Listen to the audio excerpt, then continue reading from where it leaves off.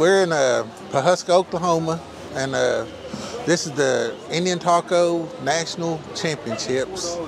Usually there's around anywhere from 15 to 20 contestants. You uh, make Indian tacos, the main ingredient, of course, the fry bread.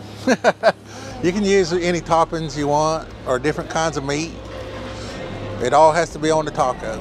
It's a real good event. It's a fun event, and it's a, uh, you get a lot of the best fry bread makers and Indian taco contestants, you know, in this part of the country or in the country, you know, for that matter. You know, you can look us up. We're Fry Bread Factory on a uh, Facebook, Fry Bread Factory LLC. That's how we uh, post our events that we're going to be at. The way I got started doing it is uh, it goes back to when I was a little boy. My mom used to sell Indian tacos at powwows, festival, Cherokee National Holiday. Um, and so that's where I got my roots. Our first year, we didn't really know what to expect. That was in 2017.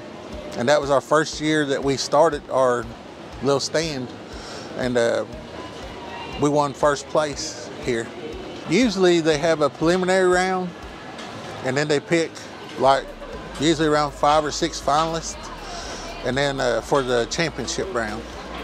And then there's usually two rounds, but this year due to the amount of people or contestants, uh, we're going to do just one round. So it's all or nothing. One round, that's all you got. Well, we're the Fry Bread Girls, and we didn't necessarily get started as a business. It's kind of just a tradition that's held up. Um, my great grandmother actually created a white sauce when they didn't have enough groceries, and so we're actually selling that today, and it's just tradition, kind of. Our first time was in 2019 and then they didn't have one last year, so this would be our second.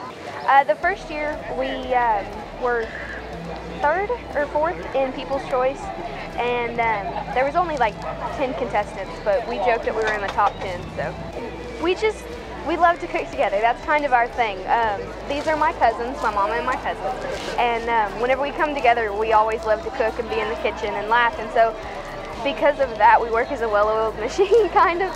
And um, so we just hope to do this weekend. So.